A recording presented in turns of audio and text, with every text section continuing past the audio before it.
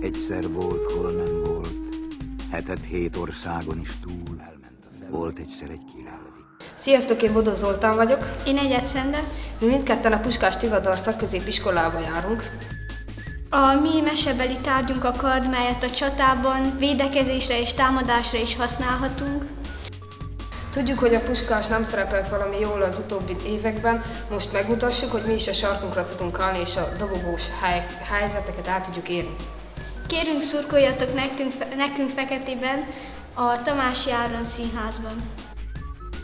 Szeretettel várunk mindenkit!